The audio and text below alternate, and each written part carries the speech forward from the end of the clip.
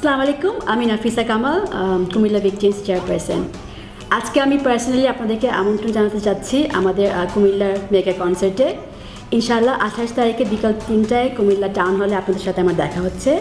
আমি আশা করি আপনারা সকলেই থাকবেন আমার সাথে। আমি সঙ্গে নিয়ে যাচ্ছি ঢাকা থেকে আমাদের জাতীয় প্লেয়ার মাশরাফি জাতীয় টিমের প্লেয়াররা মাশরাফি আছেন লিটন, রাব্বি এছাড়া ইমরুল কায়েস, লিমন রনি সকলেই যাচ্ছে প্লাস ফরেন প্লেয়ারও যাচ্ছে আমার সাথে, বিদেশি player Narine, Samuels, Darren Stevens, যে সকলেই বাংলাদেশে এসে পৌঁছাবে, তারা সকলেই আমাদের সাথে যাবে, আমাদের গেস্ট হয়ে যাবে তারা।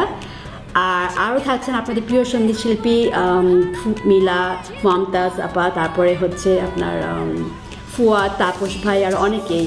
আসিফও থাকবে, আপনাদের কুমিল্লার ছেলে আসিফও আমাদের সাথে থাকবে ইনশাল্লাহ আমি খুবই এক্সাইটেড খুবই উত্তেজিত। এই উৎসবমুখী অনুষ্ঠানে আমরা সকলেই এক হয়ে কুমিল্লা ভিক্টোরিয়ান্সের স্লোগান উইন আর উইনে আমরা এক হব।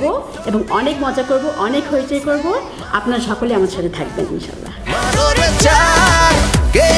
সামনে দেখি সাহস